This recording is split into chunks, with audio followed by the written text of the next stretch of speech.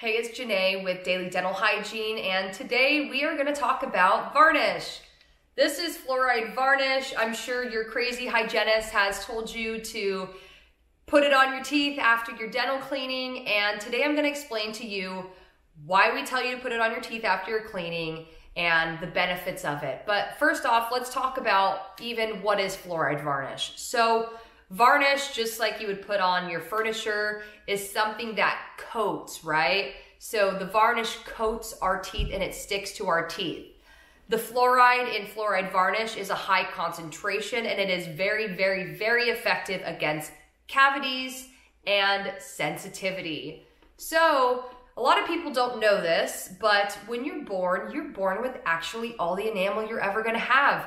Teeth start forming at about like five to seven weeks in your mom's stomach. And so when you're born, you have all the enamel you're ever gonna have. So after your dental cleanings, it's important to coat your teeth in fluoride varnish so that we keep your teeth mineralized, which will help protect against cavities.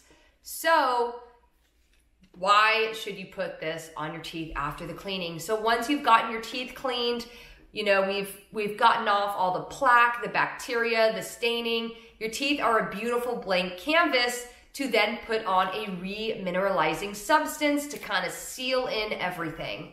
Plus, when you clean your teeth, sometimes you can expose areas of your root surface which can lead to sensitivity and varnish is incredible with sensitivity. So varnish is one of those things that Sometimes they put on your teeth and don't really tell you what you should do with it after. It's like, now my mouth is all sticky and now what? So when your hygienist or your dental professional puts varnish on your teeth, it's important to have the best uptake. So if you put this on your teeth, but you don't do the correct post-op instructions, you're really not gonna get the full benefit out of it and it's kind of a waste. So number one thing is Nothing hot, nothing crunchy. No hot soup, no hot coffee, no hot tea, nothing super, super, super hot that it melts it off your teeth. I say nothing crunchy like tortilla chips or something super abrasive.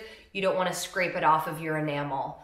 Um, the number one thing that I see patients do is brush their teeth right after I already coated their teeth in this. So you just took off all the good ingredients. So keep it on as long as possible. If you get your teeth cleaned done, cleaning done in the morning, uh, if you get dental work done and then they put on the fluoride varnish, keep it on all day long and brush it right before you go to bed.